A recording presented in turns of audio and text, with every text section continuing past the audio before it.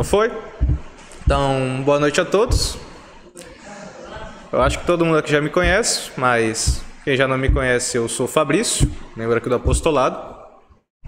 E o tio Marcelo me convidou para dar essa palestra sobre esse livrinho aqui. Eu acho que eu emprestei para o tio Marcelo, não, tá aqui. O livrinho do Jean Guiton, chamado O Trabalho Intelectual. Obrigado. É um livro editado pela Kirion. E eu já havia lido ele tem algum tempo já. E havia tomado algumas notas sobre a leitura. Aí eu comentei isso com o tio Marcelo, que caso ele precisasse de uma palestra aí, tivesse alguma sobrando, era só me colocar que eu mandava brasa. Inicialmente eu pensei que assim viesse muita gente, né? Mas acho que foi até melhor para mim, porque aí eu não fico nervoso. Então, não tem problema vir pouca gente. Vou começar com uma pequena nota bibliográfica, biográfica, né, sobre o Jean Guiton. Primeiro, o Jean Guiton, eu vou ler aqui o verbete do livro. Ele foi um filósofo francês, nascido em 1902 e falecido em 99. Foi um filósofo católico de grande influência, autor de inúmeras obras.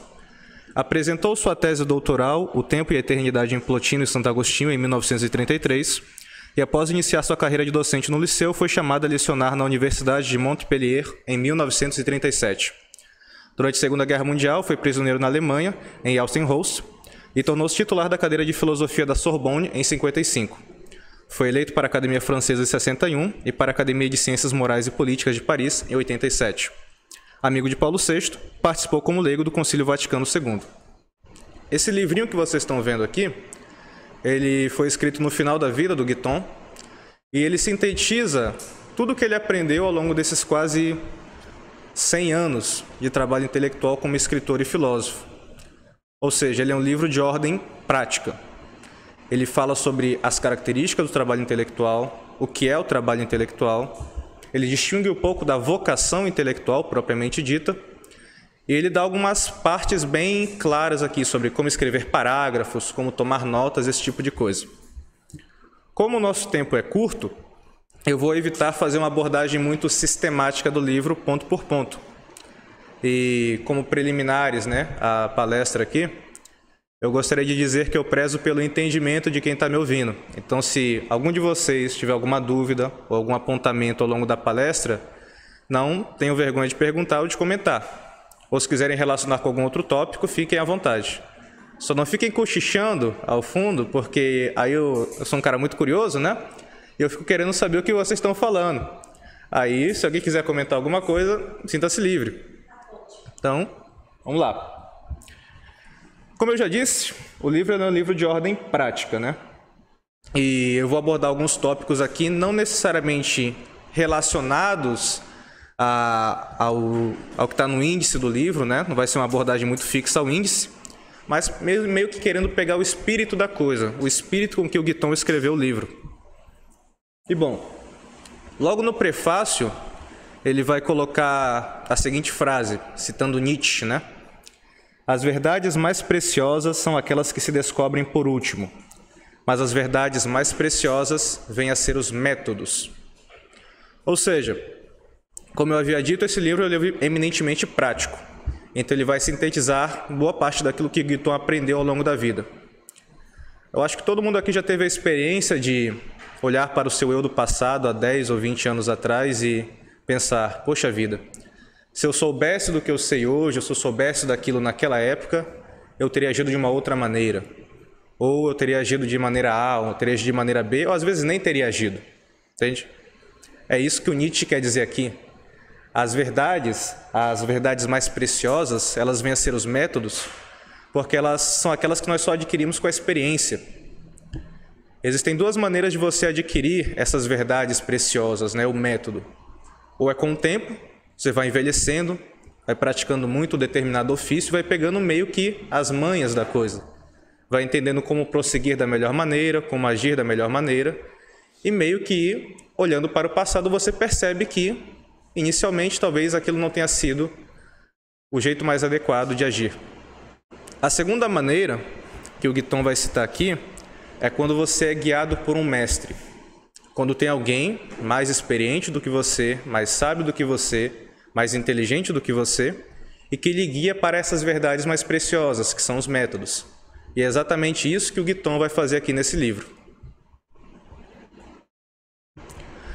O primeiro tópico que a gente vai abordar aqui no livro foi o que eu chamei de o espírito do ofício, né? Não é bem esse nome que o Guiton dá para o parágrafo. Aqui no parágrafo nós estamos observando como os outros trabalham e a preparação dos trabalhos.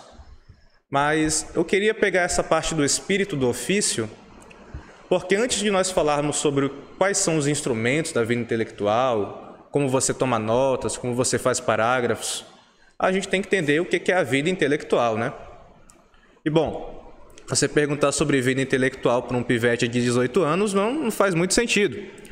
Então, citando alguém mais experiente do que eu, que é o professor Lavo, na apostila que ele tem sobre introdução à vida intelectual, ele dá a seguinte definição, né, para a chamada vocação intelectual, a vida intelectual. Bom, a vida intelectual consiste na ponderação quer imaginativa, quer intelectual em sentido estrito, dos fins últimos da vida natural e da vida política, segundo o que se entende como natureza de cada uma, e, portanto, consiste no julgamento da vida social, civil e política, como um todo, no conhecimento e avaliação das relações entre as três instâncias à luz do autoconhecimento do homem como ser consciente e racional. O que isso quer dizer? Quer dizer que a vida intelectual, ao mesmo tempo que ela se insere na vida natural, na vida civil e na vida política do homem, ela está meio que acima de todas elas. E ela é uma vocação eminentemente aristocrática. Não no sentido de que você precisa ter dinheiro, de ter posses, de ter bens materiais para exercê-la, mas no sentido de que muito poucos são chamados a exercer a vida intelectual enquanto vocação. Hoje em dia está muito na moda o sujeito querer ter uma vida intelectual. Às vezes ele não sabe o porquê quer fazer isso. Então, nada impede que você, tendo um comércio, tendo vivendo sua vida conjugal, utilize certos instrumentos da vida intelectual para exercer melhor aquela sua função. Então, por exemplo, um sujeito que é um, tem uma vocação política, um parlamentar, se ele tem a vocação de falar, de falar, de ser um orador, é evidentemente que ele vai ter que se servir de certos instrumentos da vida intelectual para melhor exercer a sua profissão. No caso, a literatura, por exemplo, onde ele vai ter que ler, vai ter que tomar notas, vai ter que conhecer os grandes autores e oradores. Então, essa é uma maneira da qual ele se serve de certos instrumentos da vida intelectual na sua vocação própria. Ou um sujeito que tem um comércio, Vamos supor que você tem um comércio e você está constantemente negociando com diversos tipos de pessoas. A literatura, como mais tarde vai ser abordado no livro, ela te dá o conhecimento desses vários arquétipos, desses vários tipos humanos com os quais você pode se deparar ao longo da vida. Então, o sujeito que já tem mais ou menos essas cartas na cabeça, sabe quais são os tipos humanos, é evidente que ele vai lidar melhor na hora de negociar, por exemplo, o preço de alguma coisa. Então é importante que a gente distinga qual é a nossa vocação. Não é demérito algum o sujeito não ter vocação intelectual. Às vezes você tem vocação política, às vezes você tem vocação civil. A maior parte de nós está na vocação civil ou política. Isso não é problema. Mas nada impede que nós utilizemos instrumentos da vida intelectual para exercer melhor a nossa vocação. E é sobre isso que nós vamos abordar aqui. A vida intelectual já entrando propriamente no livro, né, com as distinções do Jean Guiton, ela se baseia em duas grandes coisas.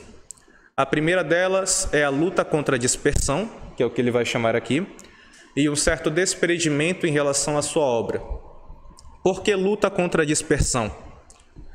Porque o trabalho intelectual, ele exige mais do que qualquer outro tipo de trabalho, talvez, a concentração, que é o instrumento máximo da vida intelectual. Então, quando você está lá escrevendo um livro, escrevendo um poema, escrevendo uma frase, um parágrafo, é necessário que você tenha uma concentração plena sobre aquilo. E a nossa vida moderna, tão agitada, tão caótica e tão constantemente nessa orgia dos sentidos, né? Você está sendo estimulado a todo momento. Ela não permite que você tenha essa concentração plena no seu trabalho. Seja porque o telefone está aqui do lado e você quer ver o WhatsApp, o Instagram, seja porque você está em um local de muito barulho e você não consegue se concentrar. E um autor chamado Narciso Irala, nesse livrinho aqui, chamado Controle Cerebral e Emocional, ele vai distinguir quais são as principais características dessa nossa vida contemporânea. Eu vou ler um pequeno parágrafozinho aqui sobre ele, onde ele dá essas características.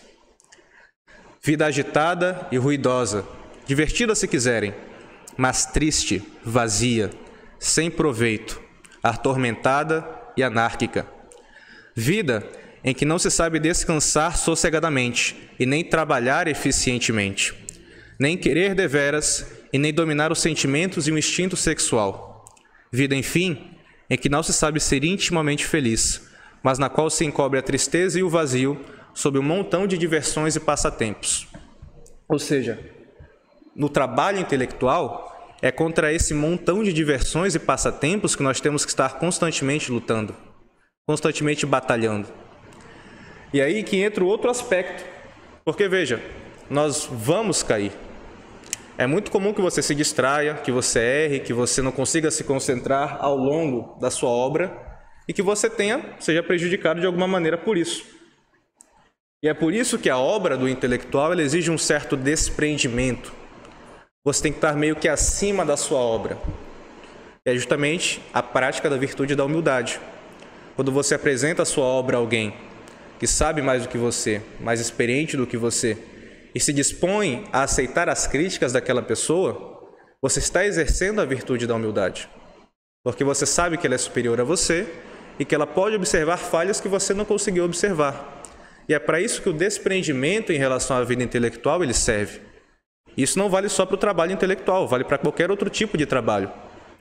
Porque essa imagem, e aqui já entrando na outra parte, que nós temos do intelectual, como um sujeito que está trancado num quarto 12 horas por dia, rodeado por livros, ela é uma imagem muito falsa.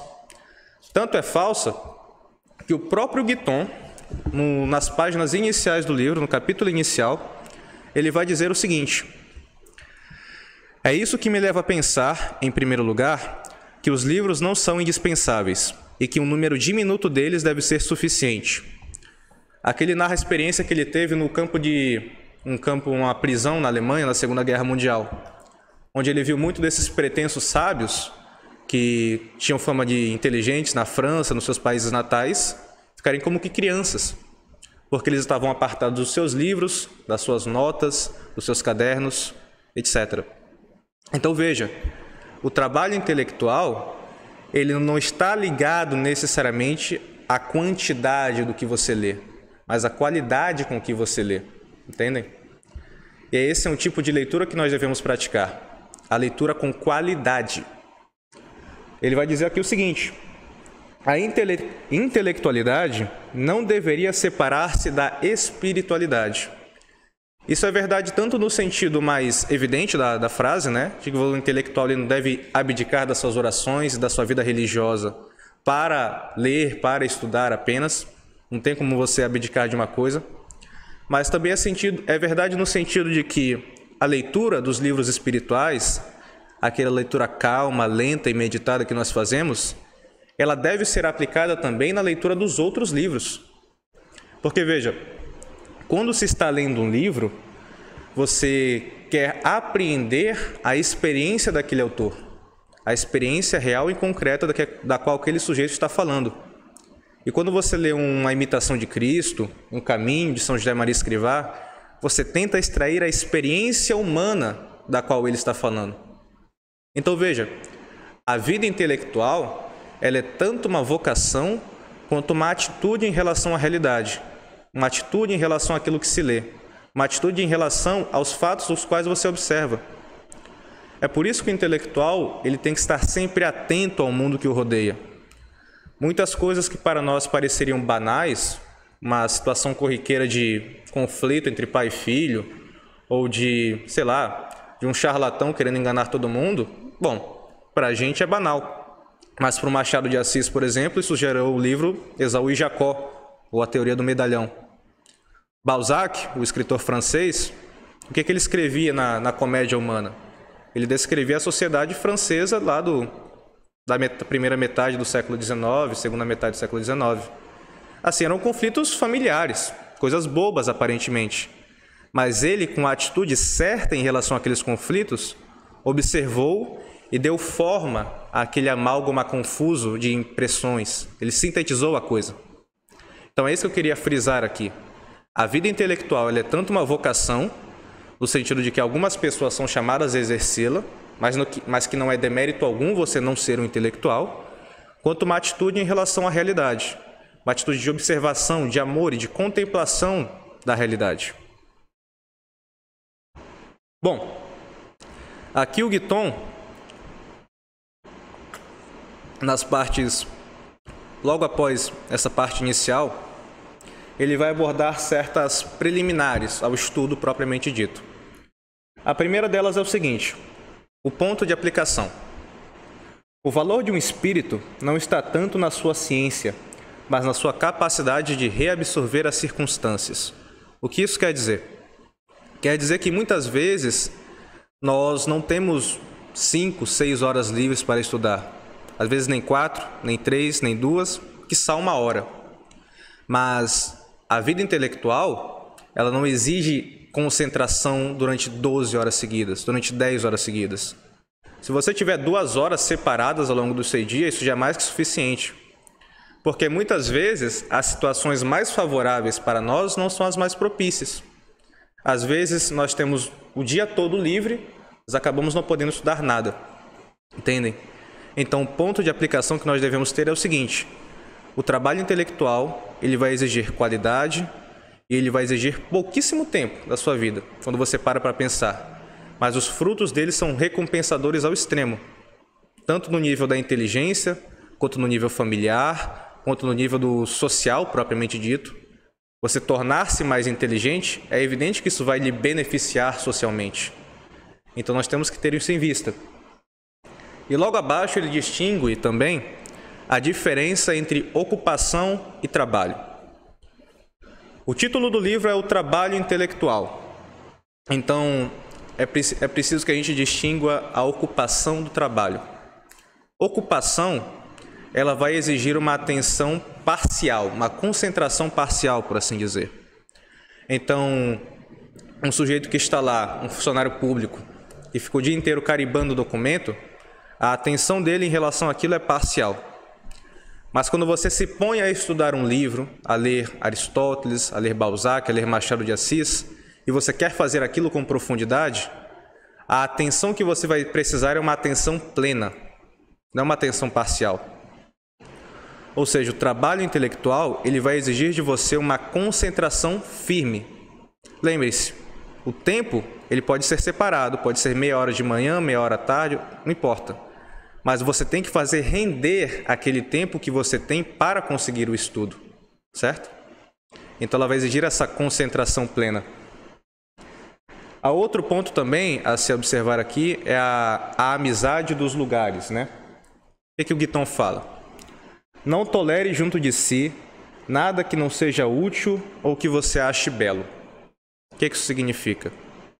Que o ambiente no qual o trabalho intelectual ele se exerce, ele deve ser ao mesmo tempo agradável para o estudo, né? É muito difícil você conseguir se concentrar quando tem um monte de gente gritando ao seu redor. Então ele deve ser um ambiente de certo recolhimento. Mas esse ambiente de recolhimento ele não significa a ausência de pessoas. Não significa, sei lá, a ausência de filhos. Você tem que se trancar no seu quarto e se apartar dos seus filhos. Não.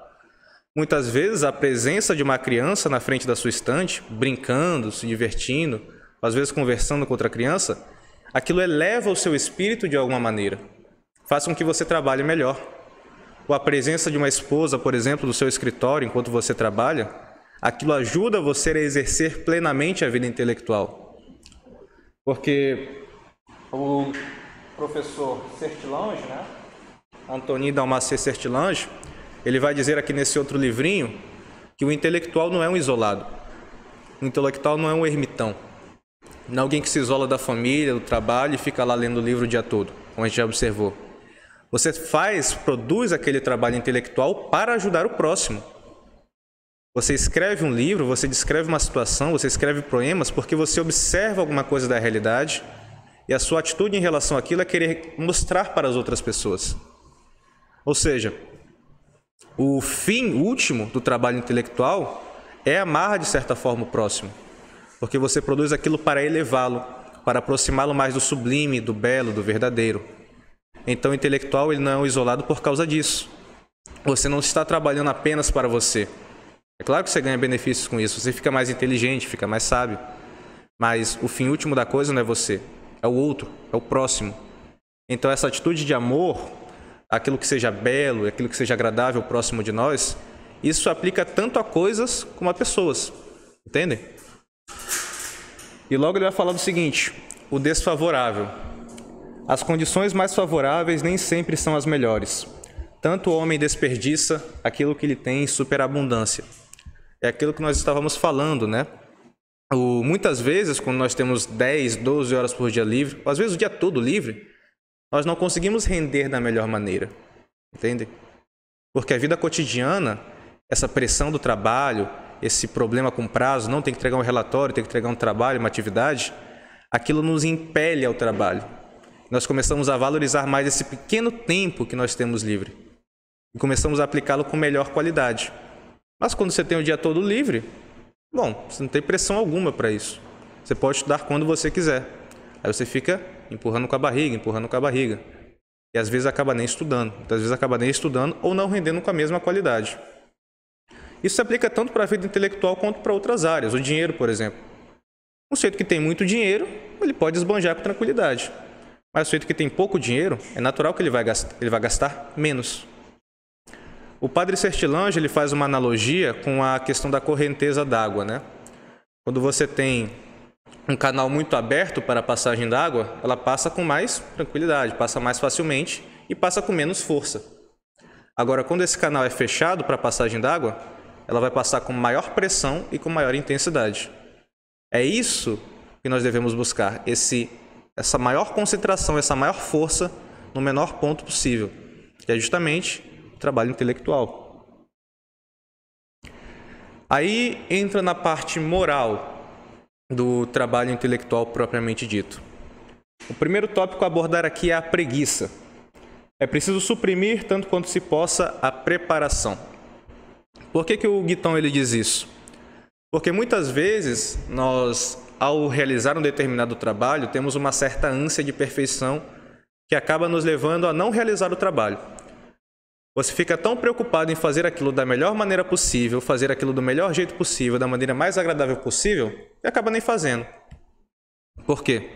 Porque essa ânsia de querer realizar a coisa da melhor maneira possível, ela nos paralisa. É por isso que o trabalho cotidiano, ele é tão importante. Porque você só tem aquele tempo. Se você não aproveitar aquele tempo, você não vai produzir nada. Entende? Então essa limitação do tempo é muito boa por causa disso, que ela nos faz dar valor ao tempo. Faz dar valor ao tempo e ao tempo do trabalho.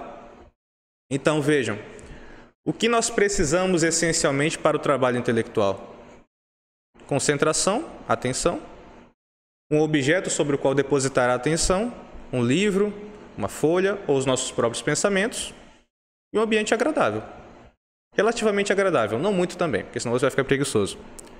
Então, é isso que nós precisamos para o trabalho intelectual para exercer o trabalho intelectual. E um lápis na mão, evidentemente, você anotar as coisas. Fora isso, qualquer preparação além disso, o Guiton considera já como exagero. Não é necessário. Aí vem o que é o trabalho intelectual propriamente dito, né? o vai e vem entre fato e ideia. E ao observar a definição que o Guiton deu, né? o objeto da nossa pesquisa deve ser o fato, na medida em que ele nos transporta para uma lei geral, eu lembrei da definição de filosofia do professor Olavo. Filosofia é ah, a unidade do conhecimento na unidade da consciência e vice-versa. Por que isso ocorre? Porque o trabalho intelectual, o trabalho de ler um livro de literatura, por exemplo, ele vai exigir de você uma concentração que faça você pegar aquele caso isolado de um personagem ou de uma ideia que lhe está sendo apresentada e relacionar aquilo com a sua própria vida e com a realidade.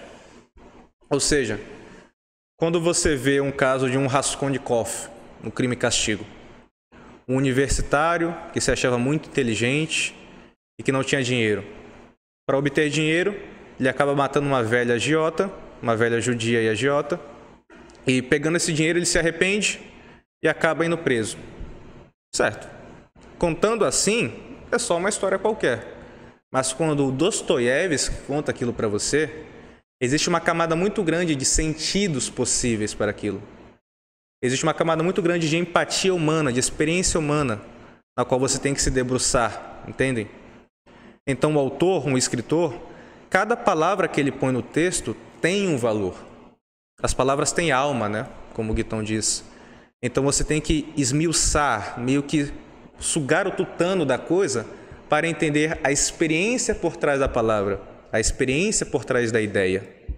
E é esse o objetivo do, desse vai e vem entre fato e ideia, né? Você observa a ideia, relaciona aquilo com sua vida cotidiana e entende do que o autor está falando. Isso é verdade tanto para livros de literatura, onde você vai pegar as formas dos personagens, por assim dizer, quanto para livros de filosofia, onde por trás de um sistema muito complexo de ideias, um conjunto muito vasto de ideias, um edifício gigantesco de conceitos, sempre há uma experiência humana real e concreta a qual você vai ter que esmiuçar para descobrir. E esse é o trabalho do vai e vem entre fato e ideia. O outro capítulo que ele fala é Dai-me uma alavanca, né? Ir em tudo do conhecido para o desconhecido. Ou seja, é muito comum que as pessoas perguntem no para um Italo Marcilli da vida, para um Pedro Augusto, um Clístenes, que é professor de latino, escola clássica, por onde eu começo, né? Onde eu começo lendo literatura? Onde eu começo lendo filosofia? Onde eu começo aquilo? Onde eu começo aquilo? Onde você começa é onde você está. Cave onde você está. O, o Guiton e o Sertilange eles são uníssonos nisso, né? Cave onde você está. Quais são seus interesses? Ah, eu me interesso por literatura brasileira. Bom, pegue os grandes clássicos da literatura brasileira e leia. Entende? Ah, eu tenho interesse por filosofia. Cara, a lista de filosofia dos contos acadêmicos está aí, ordenada. Inclusive eu tirei essas referências daqui de lá, entendem? Então existe muito material gratuito, muito bom, que vocês podem acessar. Mas o ponto importante que eu gostaria de destacar aqui é o seguinte: não interessa muito bem por onde você começa. O negócio é você começar. Você tem um ponto de interesse, meu interesse é tal. Eu vou buscar bibliografia a respeito e eu vou começar a ler. É muito mais importante do que você ficar se perguntando, ou às vezes até se empreendendo, né? Ah, mas eu tenho que começar do jeito certo. O jeito certo é o jeito que você faz. Entendem? É muito mais importante você começar a fazer o trabalho do que ficar se perguntando o jeito certo. Aí que entra aquela vontade de perfeição, né? Essa vontade de perfeição, de começar da melhor maneira possível, ela nos trava, ela nos paralisa. E é contra isso que Guiton está alertando. Você vai do conhecido para o desconhecido. Pegue um papel, esse é um exercício muito fácil de se realizar. Pegue um papel e anota quais são os meus interesses. Ah, eu gosto disso, gosto disso, gosto disso. Aí você pensa, ah, quais são os livros publicados sobre esse assunto? Vou começar listando os livros sobre esse assunto, né? Você vai levantar o status questiones da coisa. O que já escreveram sobre isso? Escreveram de mais importante sobre esse assunto? Aí você vai lá, faz essa pesquisa, começa o trabalho, começa a leitura. Então é importante a atitude, mais do que ficar pensando, ah, eu poderia fazer de tal forma, daquele outro, faça. A atitude é o importante. E aqui ele vai falar as fronteiras, as passagens e as analogias. O instinto do gênio consiste em reparar nas coisas singulares que contêm em si o universal em potência. Quando eu falava lá no comecinho que a vida intelectual ela é tanto uma vocação quanto uma atitude, está relacionada a isso aqui. Você vai observar coisas que, em particular, elas não têm nada de aparentemente interessante. Mas quando você dá forma, quando você verbaliza, quando você expressa aquilo de uma determinada maneira, você consegue tocar naquilo que há de mais profundo na alma humana, naquilo que há de universal em todos nós: a empatia, o medo, o ódio, a raiva, a magnanimidade. Todas essas experiências que nós percebemos muitas vezes no cotidiano, mas que não reparamos, elas são expressas pelo intelectual. O intelectual ele repara nelas, ele dá forma a essas experiências. Eu até dei o exemplo do caso do Raskolnikov, né? Quando eu conto a história do Raskolnikov, isso pode parecer pouquíssimo interessante, mas quando Dostoiévski conta, ele dá camadas e camadas de sentido para aquilo, que apenas lendo o livro você vai ter realmente aquele impacto, vai ter realmente aquela experiência humana e vai conseguir aprender aquele, aquela forma humana. Então, essa atitude intelectual perante a realidade, uma espécie de contemplação amorosa, por assim dizer, ela está nesse observar os fatos particulares e, através desses fatos particulares, chegar a generalizações. Entendem? A matéria-prima de todo intelectual é a experiência humana real e concreta. É a realidade. Entendem? Por isso que eu estou frisando aqui a importância dessa observação, dessa atitude intelectual. Entende? E aqui eu queria citar um, um, um trecho do Júlio Espalhou, que não é esse daqui, é de um outro livro chamado Educação da Vontade, onde ele vai dizer o seguinte: Mesmo o que é, o que, mas o que é a liberdade exterior para quem não é senhor de si mesmo? Você manda em tudo aqui, poderíamos dizer, menos em si mesmo. E os dias escoam frequentemente estéreis. Ou seja, é preciso, para realizar um verdadeiro trabalho intelectual, o domínio de si mesmo. O professor Olavo Nukoff ele passa praticamente o primeiro ano inteiro só dando essa educação moral para os alunos, né? Como você deve reagir à, à oposição da família? Você começa a ler certas coisas, por exemplo, e a sua família ah, tá querendo virar inteligentinho, começa a caçoar de você, ou às vezes as pessoas se afastam de você, entendeu? Essa educação moral, essa parte, essa parte mais prática mesmo da vida intelectual, eu diria que ela é. Eu não, né? Professor Olavo. Diz que ela é praticamente metade do que você tem que fazer para realmente produzir alguma coisa de relevância. Porque muitas vezes você vai aprender certas coisas e você vai querer falar sobre ela com seus amigos, com seus colegas, e eles não estão no mesmo, na mesma sintonia que você, por assim dizer. Eles não estão indo no mesmo caminho. Então você vai acabar tendo que se afastar dessas pessoas. Mas é muito difícil fazer isso. É muito fácil falar, mas é muito mais difícil fazer. Porque existe aquela afetividade, né? Ah, o cara é meu amigo há 10 anos, é minha amiga há 20 anos, a gente estudou junto, entendeu? Você não quer se afastar. Mas aí você vai acabar sacrificando, inevitavelmente, a sua personalidade para ser aceito por aquele grupo. Porque você está amando uma coisa, você está procurando uma coisa, você está indo num determinado caminho e eles estão indo na direção oposta. E é inevitável que em dado momento você vai ter que cortar relações com essas pessoas ou prostituir a sua personalidade em troca da aprovação deles. Então essa parte da, do controle de si mesmo, do domínio de si mesmo, do dominar as suas afetividades, né? Dominar as suas partes mais baixas, o comer em demasia, a tendência que todos nós temos à luxúria, entende? Dominar o seu estômago, por assim dizer, e a sua boca, essa parte é fundamental para o trabalho intelectual verdadeiro. Ninguém aqui, quando pensa no intelectual, pensa em alguém glutão, em alguém beberrão, em alguém que a todo momento está por aí, sei lá, se desfazendo, né? Deixando de se derramando em outras coisas. Até tem intelectuais desse tipo, mas você vê que a produção deles, quando comparado com aquilo que eles poderiam ter sido realmente, é muito menor.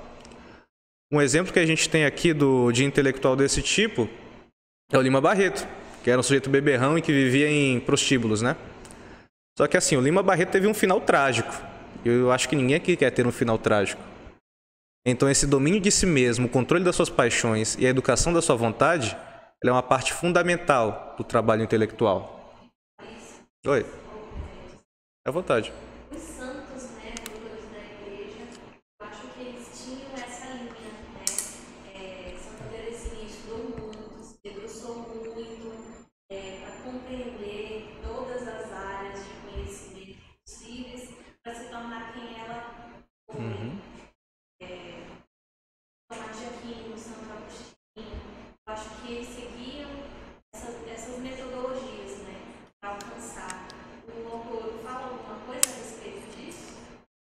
Sim.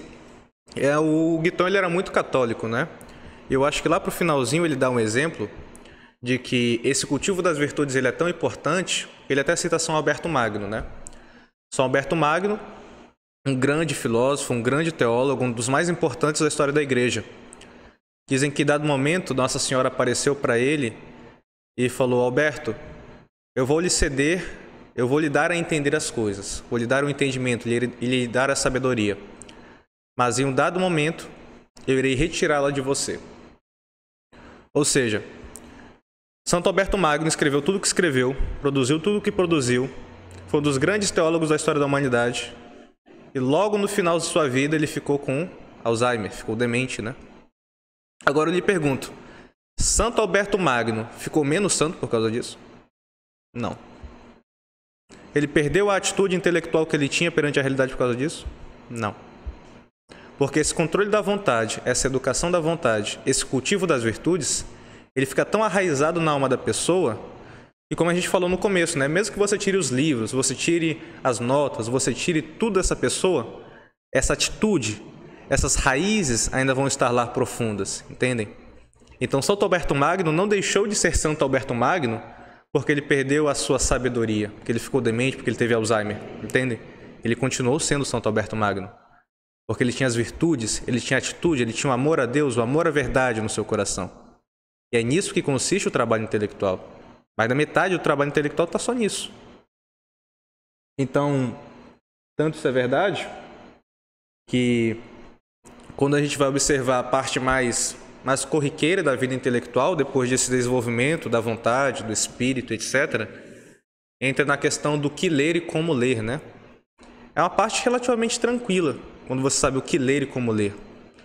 Tranquila por quê?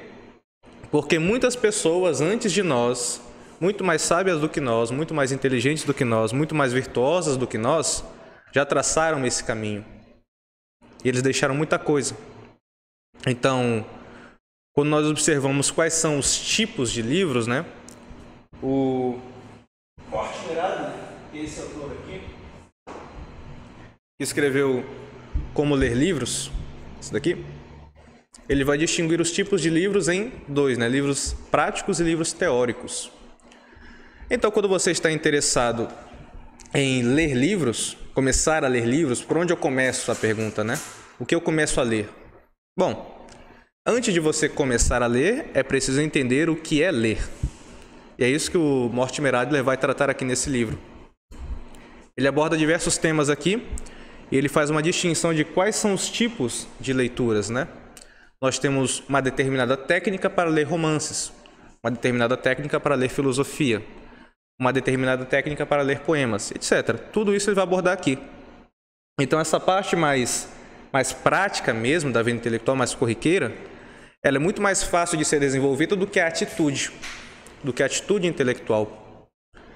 Então, o que o Jean Guiton vai falar a respeito desse tema, sobre o que ler e o que não ler, o que ler e como ler, ele vai diferenciar basicamente aqui as leituras de romance, as leituras de história e as leituras de livros teóricos. Bom, o romance narra como as coisas poderiam ter sido. A história narra como elas realmente foram. Ou seja, por que, que nós lemos livros de romance? Romance aqui é o gênero, tá? Não é que tem romance no livro propriamente, mas é o gênero de livros. Por que, que nós lemos esses livros? Porque eles nos dão os tipos humanos. Eles mostram como as coisas poderiam ter sido. Então, quando você lê um Guerra e Paz, de um Tolstói, por exemplo, você se vê naquela situação, guerras napoleônicas, começo do século XIX, e pensa, cara, eu nunca vou viver isso, entendeu? Eu nunca vou ter essa experiência de estar lá e de lutar nas guerras napoleônicas. Mas eu tenho alguém que talvez até não tenha vivido isso, mas que formalizou aquela experiência, que deu forma àquela experiência. Esse alguém é o Tolstói. Ele está passando isso para mim. Então você se vê na pele daqueles personagens e vê como as coisas poderiam ter sido se aqueles personagens fossem reais, como as coisas poderiam ter sido se determinados tipos humanos estivessem lá, etc. Agora, quando você lê os livros de história, você procura saber como as coisas realmente foram. Então, quando você lê um Tucídides, por exemplo, você lê a história da Guerra do Peloponeso, nós costumamos buscar como as coisas se deram, como as determinadas os conflitos se deram, como as guerras se deram, como as batalhas se deram, como as pessoas agiram naquele momento e como nós poderemos agir em momentos análogos. E é isso que nós buscamos na história. Agora, nos livros de pensamento puro, como o Guiton vai descrever aqui, esconde-se, sob a aparência de um sistema, uma experiência humana individual, levada à mais alta generalização. É justamente essa definição que nós demos anteriormente. Né? Você vai buscar o, indivíduo, o, o universal naquilo que é particular. Bom, dando procedimento a isso, como eu já disse para vocês, o livro é eminentemente prático. Então ele vai dar aqui alguns conselhos bem claros de como escrever parágrafos, por exemplo, algumas técnicas de escrita, como você pode organizar as ideias, como tomar notas, como enfim, como fazer o que você tem que fazer para produzir realmente uma obra, um livro, um ensaio, um artigo, esse tipo de coisa. Se eu abordasse isso daqui, talvez fosse meio enfadonho. Na verdade, talvez não, seria meio enfadonho. Porque eu teria que a todo momento estar lendo. Mas existem alguns pontos bem interessantes aqui quando se trata da ordenação das nossas ideias, né? Como você irá produzir propriamente dito. Aqui o Guiton ele diz alguma coisa, um, um trecho bem pequenininho, mas bem significativo. Diz o Guiton: Virá, enfim, um dia em que será necessário produzir. Esse momento é penoso. Poucos o suportariam, se a necessidade não obrigasse. Relacionando aquilo que eu falei sobre o tempo, né? Se você não tivesse aquela pressão do tempo a todo momento, é muito provável que nós não produziríamos. E ele explica isso aqui. Se não fôssemos obrigados a trazer luz à nossa maré interior, nunca se exprimiria nada. Ou seja, você é obrigado a exercer aquele trabalho, você é compelido a fazer aquilo, e é justamente isso aqui, é justamente essa, essa compleição que te leva a exercer aquele trabalho. É bom ser coagido à obrigação limitada pelo tempo. É até mesmo útil que nos falte o tempo necessário. Já na esteira daquilo que a gente estava falando, é mais útil que nos falte o tempo necessário do que nós tenhamos o tempo em abundância. E aqui vem algumas partes mais práticas do livro, como escrever parênteses, técnicas de escrita. É muito bom que vocês leiam o livro, é altíssimamente recomendável, na verdade. Não é uma linguagem difícil, não é uma linguagem muito verborrágica, o Guiton. Dá prazer ler o livro, ele é um escritor maravilhoso. E na esteira desses livros como Trabalho Intelectual, Existem vários outros, né? Eu poderia usar aqui também o do François Charmot, que é esse a arte de formar o espírito. Vários desses manuais franceses de educação, eles são recomendados pelo professor Olavo ao longo do COF, né? E o do Charmot é um deles também. Também existe o do Payot, que é a educação da vontade, mas também tem esse daqui, o trabalho intelectual e a vontade, e também sobre o aprendizado da arte de escrever. Todos eles são livros eminentemente práticos. Eles ensinam como você produzir, como você escrever, como você pensar as ideias. Esse o trabalho intelectual e a vontade, ele está mais voltado geralmente às pessoas que vão exercer uma vocação intelectual propriamente dita. Então, caso seja o caso de alguns de vocês aqui, é altissimamente recomendado que se leia. E também esse daqui do Luiz Rebollet, o conselho sobre o trabalho intelectual, todos na mesma esteira. Bom, após isso, no parágrafo final, né, nas páginas finais do livro, o Guiton ele tem uma frase que me marcou bastante. Uma frase não, um parágrafo. Não tão curtinho, mas que ele vai utilizar como fechamento da coisa, né? Bom, se vocês me permitem, já para fechar a palestra, Gostaria de ler essa, essa parte aqui que me tocou bastante quando eu terminei o livro. Ama apenas o que é verdadeiro, e por causa desse amor, evita a companhia exclusiva de pessoas inteligentes. Não procures com excessiva frequência o teu semelhante. Encontrá-lo-á suficientemente para que seja necessário procurá-lo. No nosso mundo moderno, o que muitas vezes se chama de inteligência é unicamente uma certa sensibilização do espírito para o que é demasiado sutil para ser aprendido pelos instrumentos normais do conhecimento.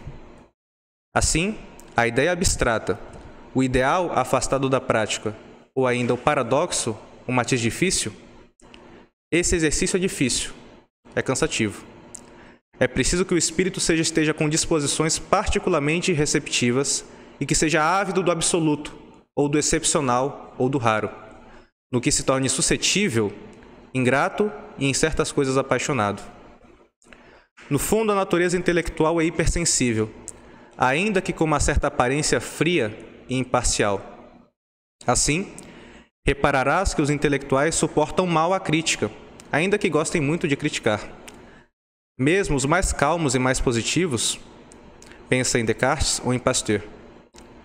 Para se conservar, o homem inteligente tende a viver apenas com os aduladores. Entre as pessoas de espírito, dever-se-ia frequentemente ouvir as palavras desse gênero: Enganei-me. Você tinha razão. Tenho de reconsiderar. Verás como essas expressões são raras nas conversas das pessoas inteligentes. Aí ele continua. Conheci espíritos muito finos que não empregavam senão palavras grosseiras, dogmáticas, que se disfarçavam atrás de um sorriso perpétuo. Pessoas famintas de verdade pura, que não podiam falar senão com ironia e dando-se o ar de não acreditar em nada. Meio que descrevendo a situação da França da sua época, né? Então, mais uma vez retornando ao que seria o espírito do livro, ser intelectual ele é uma atitude e é uma vocação. É uma atitude de amor, uma atitude de amor com o próximo, de amor com a humanidade. E nós devemos evitar no exercício dessa vocação, no exercício desse trabalho, qualquer tipo de pose, qualquer tipo de fingimento. E buscar sempre, da maneira mais, mais acirrada possível, né? Uma honestidade brutal com nós mesmos. Na descrição dos nossos sentimentos, na descrição daquilo que nós observamos e, sobretudo, na nossa relação com a verdade, nossa relação com Deus. Eu imagino que todos aqui sejam católicos, né? E bom, a verdade por excelência é nosso Senhor Jesus Cristo. E é isso que todo o trabalho intelectual deve se destinar: a união com Cristo e a contemplação da verdade. É isso.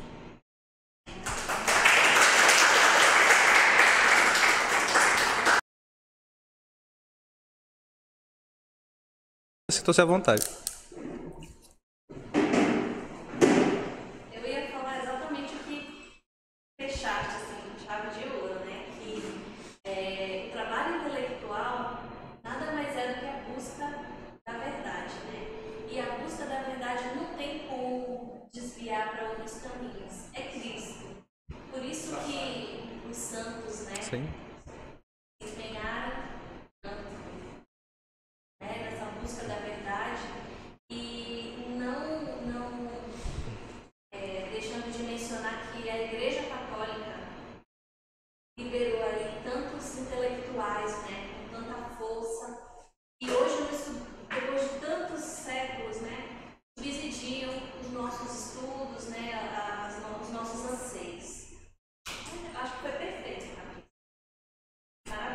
Obrigado. Eu quero fazer uma pergunta. À vontade. É, já que você é um rapaz de apenas 18 anos, ainda está concluindo o segundo grau. Exatamente. Técnica em Química, hein? É, técnica em Química. Tá fim do ano, confia.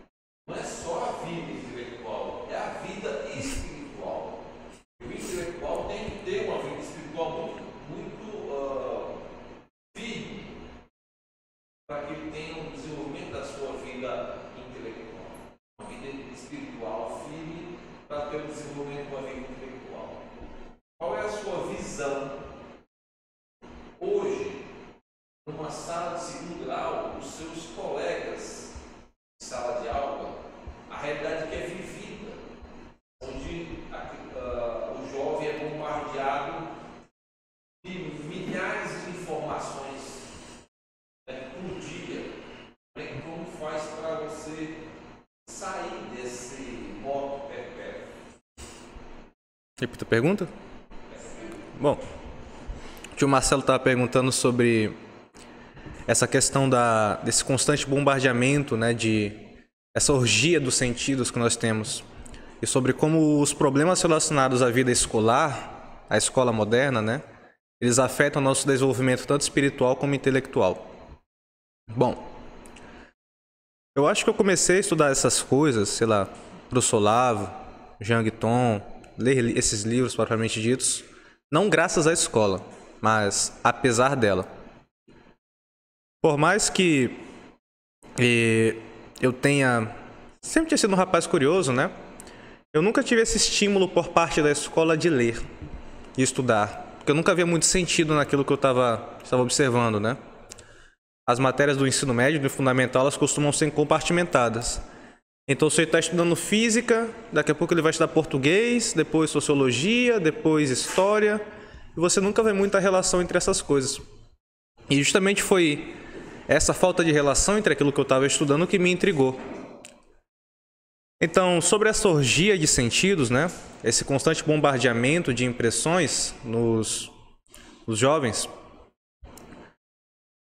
eu diria, não sei como, muito bem como descrever isso, porque minha namorada está aqui, ela está na mesma sala que eu, né?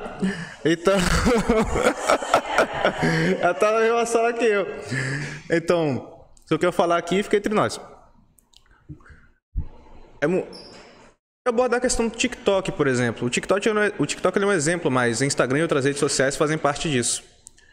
Essa constante sexualização que nós temos, esse estímulo constante a, a você ser sexualizado, a você ver pessoas sexualizadas, ele é um problema grande para a inteligência, né? Porque esses prazeres, esses prazeres mais brutos, mais, mais carnais propriamente ditos, eles como que entorpecem o seu imaginário. Quando se trata do imaginário, você vai observar o que, que as pessoas estão assistindo hoje em dia. O que está na cabeça do jovem médio sobre isso? Quais são as músicas que ele ouve? Quais são as séries que ele vê? Quais são os, os influenciadores que ele acompanha, né? Você vê que todas essas pessoas, as músicas que ele ouve não são músicas, propriamente dito. É ritmo, é só batida. É uma música assim digna de primatas, na melhor das hipóteses. Os influenciadores que ele assiste, que ele acompanha, são todas pessoas que querem vulgarizar, ou querem vulgarizá-lo, ou querem sexualizá-lo, ou querem reduzir a sua inteligência. Outro dia eu estava vendo um Instagram, né? Eu acho que teve um, teve inclusive um show da Luísa Sons aqui, tem um tempo. Aí uma menina lá do meu colégio publicou no Instagram dela um texto, né, falando sobre como a Luísa Sons era uma grande inspiração para as mulheres brasileiras como ela era um exemplo de, de genialidade artística e musical. Aí fiquei pensando, meu Deus do céu. Não, não respondo nada, fico quieto, né? Só, só, só observo. O exemplo de genialidade artística e musical. Aí eu me vi naquela condição do Ariano Suassuna, né? o que dizer de. Se você chama uma mulher dessa de gênio artístico, o que, que eu vou dizer de Mozart? O que, que eu vou dizer de Beethoven, entendeu? Então, o padrão para essas pessoas de gênio artístico, de gênio de influenciador, de intelectual é isso, é Luísa Sons, é Anitta, entendeu?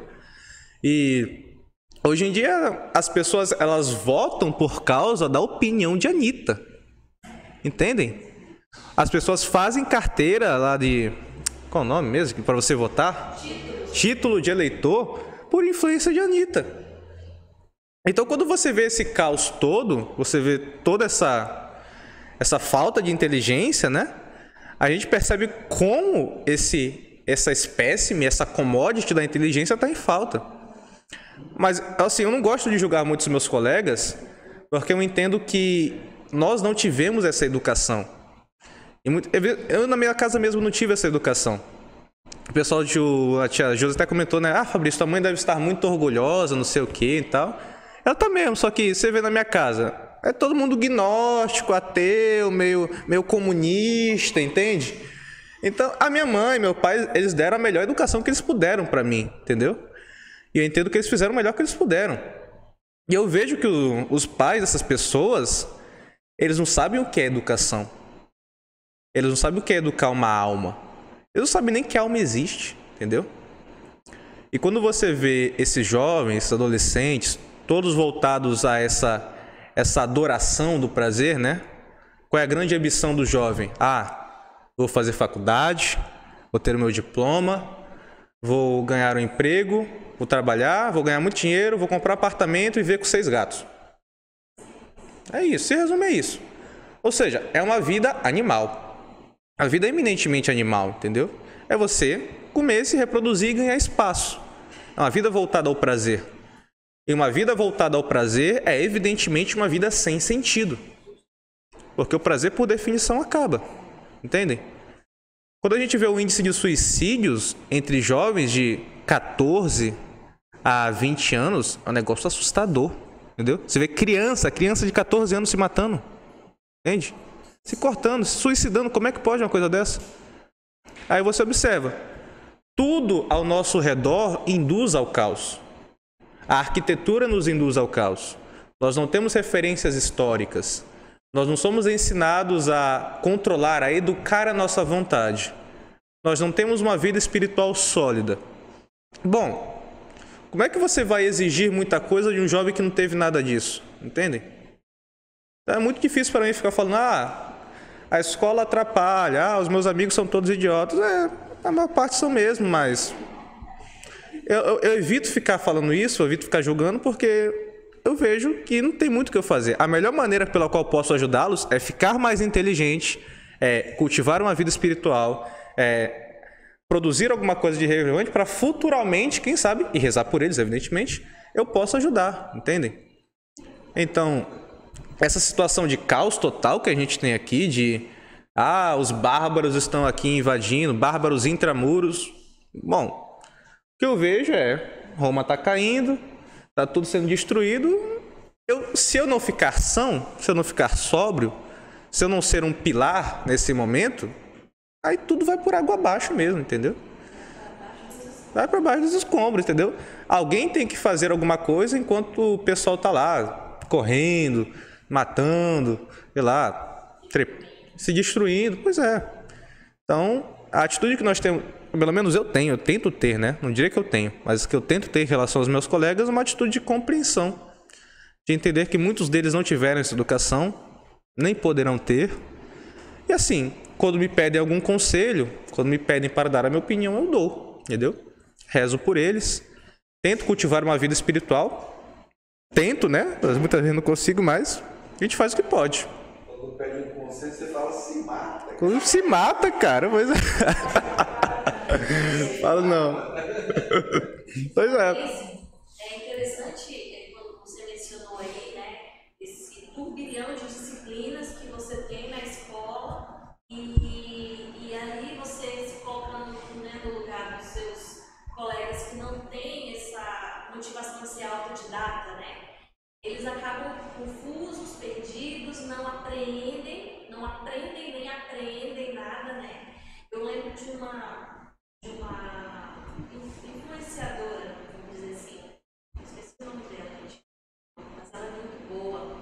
Ela é uma mãe homeschooling. O filho dela fala inglês, fala latim. Já estava começando a, a, a é, espanhol, já estava começando a aprender francês com 12 anos. E ele é homeschooling desde os 8. Né? Quando ela percebeu ali na escola como ele era muito. porque ela fazia parte casa, né? De incentivar a leitura, a oração, a disciplina, que você falou aí muito bem, né? Você não vai chegar aonde você quer no grau de intelectualidade se você não tiver disciplina, né? Observar o seu ambiente, é, ser muito calmo, se traz inspiração, enfim. E ela trabalhou muito isso com o filho dela, né? E ela disse que essa, estudando, ela estuda muito, ela descobriu que é, quando a criança começa, por exemplo, a estudar português, na hora mais interessante da matéria, ali é interrompido para começar matemática, isso mexe com o intelecto, o intelecto da criança e é, é um freio, assim, um avanço intelectual dela. Acha claro. que realmente isso faz sentido na experiência que você tem na, na, na sua escola? Esse freio que tem na por causa do negócio? Do... Isso. Aí você tá lá nos dois tempos de português, na hora mais interessante o sinal pá, oh. ah, Tanto não faz sentido, mas não é feito para fazer sentido, entende? Essa ideia de nós temos que ter uma escola gratuita, pública, obrigatória e todas as crianças têm que ir para lá, isso é coisa moderna, entendeu? Nem sempre foi assim. Muitas vezes os responsáveis pela educação eram as associações de bairro, as igrejas, tanto as católicas quanto as protestantes. Você vê o caso da educação nos Estados Unidos, por exemplo. A educação nos Estados Unidos, praticamente durante toda a sua história, foi feita graças às igrejas. A primeira coisa que os, os americanos faziam quando chegavam numa cidade, numa comunidade, era construir uma igreja. E as crianças eram educadas na igreja, pelo, não era padre, né, mas pelo pastor. Então você veja, essa separação, o pessoal do Instituto Borborema até está fazendo uma, uma série de, de lives essa semana sobre esse tema da educação. Então, quem quiser se aprofundar mais nisso, recomendo que assista essas questões. Eles abordaram a divisão das disciplinas, né? Essa divisão das disciplinas, evidentemente, que ela não dá certo. Porque, como a gente falou, a substância da atenção é o interesse. Não tem como você aprender uma matéria, você entender uma matéria, se a cada 45 minutos, quando você está desenvolvendo o raciocínio, ocorre, uma cor, ocorre um, um corte aí, lacônico, você vai para uma coisa que não tem nada a ver. E ainda mais, quando você não consegue relacionar aquilo com a sua realidade. Entende? O John Taylor Logato, que é um educador, um pedagogo americano, ele dizia, né, que o principal ponto, o principal ponto de interesse, o principal ponto para você educar uma criança é desenvolver nela o um interesse por estudar, interesse por causa da matéria. Ele conta que ele estava tentando ensinar física para um sujeito né, que só queria jogar uh, beisebol. Como é que você vai ensinar isso para uma criança que só quer jogar beisebol? Bom, aí você pode ensinar, trazer aquela realidade da criança para dentro da matéria. E é por isso que o homeschool ele é tão mais interessante do que essa educação obrigatória, escolar e padronizada para todo mundo. Porque ele se adapta às circunstâncias de cada criança. Então, se uma criança quer jogar bola, por exemplo, quer jogar futebol, ah, você sabe como, como chutar melhor para o gol, como fazer o gol? Como é que é feito esse chute? Com que força você faz isso? E você vai desenvolvendo a matéria a partir do interesse da criança, entende? Então aquilo não fica compartimentado na cabeça dela. Isso aí é uma coisa que ela vai conseguir relacionar com a realidade, que muitas vezes a gente não, não consegue observar na educação de ensino regulamentar, na educação de ensino médio. Essa é a impressão que eu tenho. É a impressão que eu tenho. Nunca estudei sobre o assunto, nunca me, me aprofundei sobre isso, sistema da educação propriamente dita, mas a impressão que eu tenho é essa: você não consegue ensinar alguém se você vai só compartimentar o conhecimento, se você não relaciona aquilo com a realidade, se você passa o sujeito, independentemente se ele entendeu ou não. A gente tem na nossa sala pessoas que não conseguem escrever uma redação de 30 linhas, entende? Terceiro ano de ensino médio. Acho que é isso.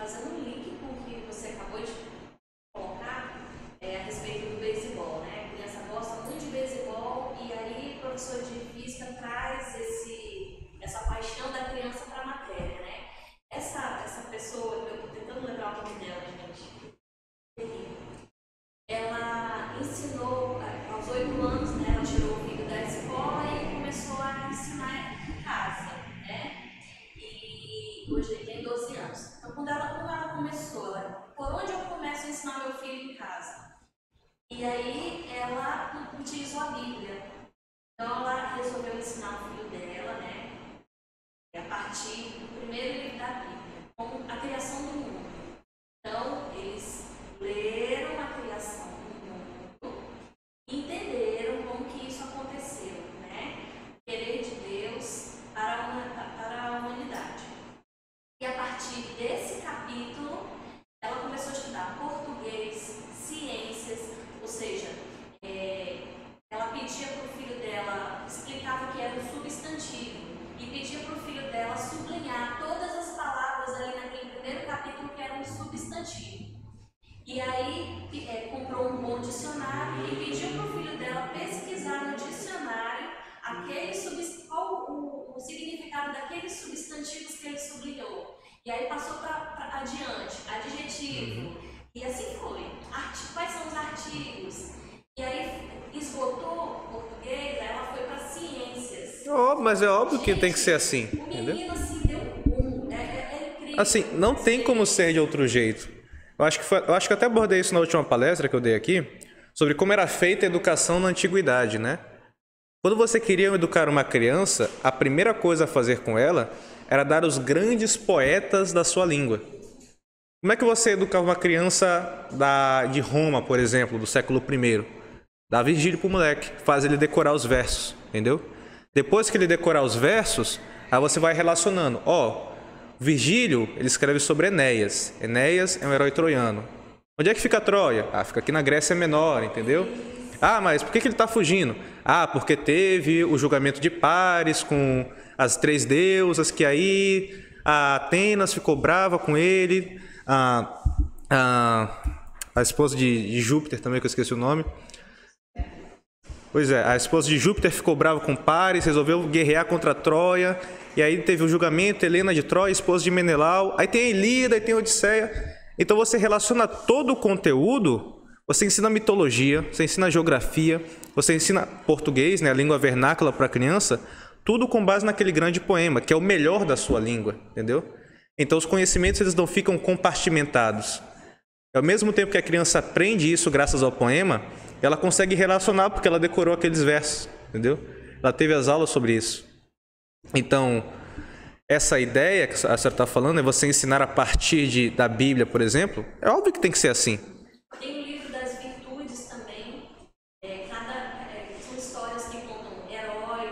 Uhum. Que aí faz a criança também é, ter o seu imaginário. Exatamente. A, tipo, uhum. você falou aí, Anitta, Luiz Afonso, não, mas é um herói, uhum. que. É...